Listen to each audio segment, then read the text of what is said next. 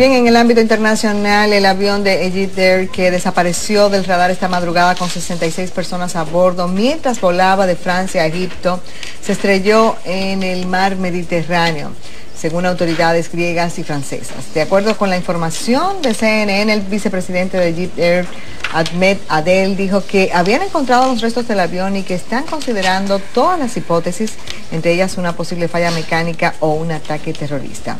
De su lado, un alto cargo egipcio de la aviación consideró más probable que haya sido un acto de terrorismo que una falla técnica.